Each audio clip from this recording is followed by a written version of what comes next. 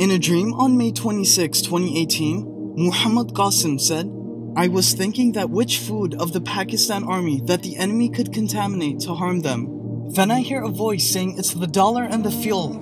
If those two run out, the army will become paralyzed and won't be able to make any movement. Then I think in my mind that fuel is bought from dollars. If the dollars run out, they won't be able to buy the fuel as well. Then I see that the condition of Pakistan has severely worsened. Pakistan had to pay the debt installment, which we did not have.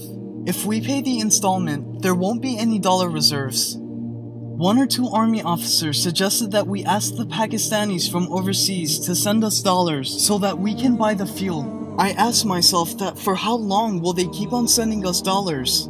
They must have their own needs as well.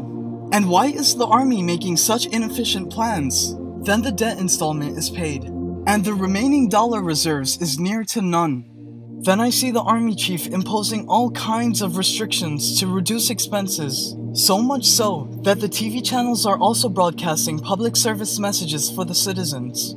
That we should all adopt simpler lifestyles. All extra activities like sports and events are also limited. Then the army openly admits that the situation is very bad. On the other hand, the enemies carry out their plans to create chaos in four or five big cities so that things get out of control for the army. Then I went to see a big army officer. I think it was a house of a lieutenant general. I wait for him there so that I can tell him about my dreams.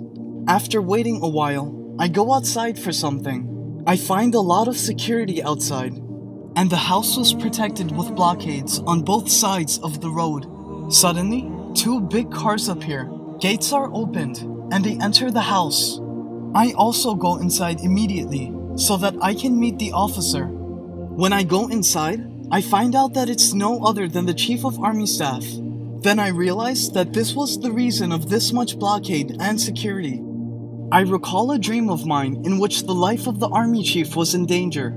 I ask myself that is this that same moment from my dream? Anyways, I go inside and look for the army chief. I probably found him in the TV lounge. I gave my salam to him and told him that I have to tell him something important. He takes me to the drawing room where I start telling him about my dreams. He listens to me calmly.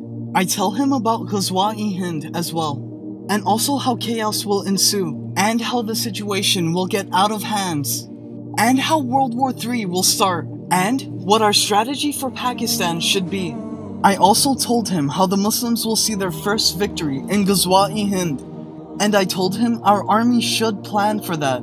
After listening to my talk, the army chief says to me that listen to me Qasim, these are all dreams and they have no relationship with reality. We are doing everything for the defense of Pakistan. It's a tough time right now, but we will take care of everything. And the dream ended there.